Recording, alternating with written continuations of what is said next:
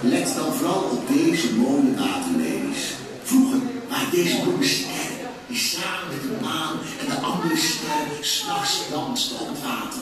Op zekere morgen luisterden er enkele sterren niet toen de maangodin hen riep om mee terug te gaan. Ze dansten en dansten tot een heks verscheen en hen voor straf veranderde in waterlelies. En alleen in maanlichte nachten komt de